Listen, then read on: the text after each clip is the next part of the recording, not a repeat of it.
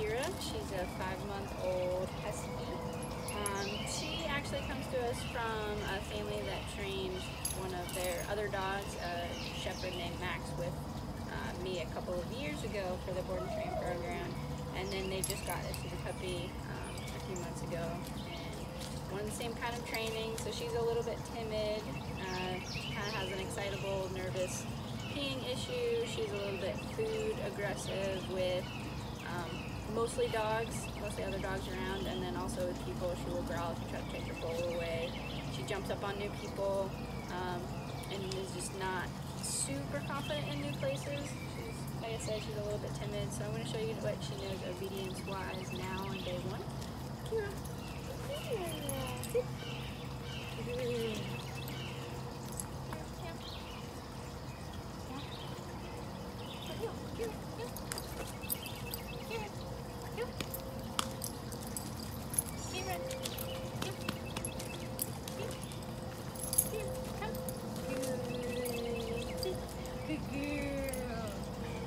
she definitely knows come and sit. Um, we'll definitely work on heel and down over the next couple weeks and make sure she's able to do all of those commands uh, around other people and dogs and